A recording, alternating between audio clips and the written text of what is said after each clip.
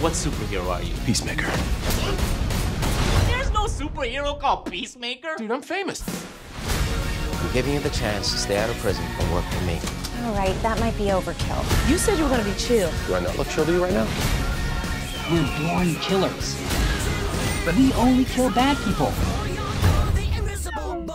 Usually.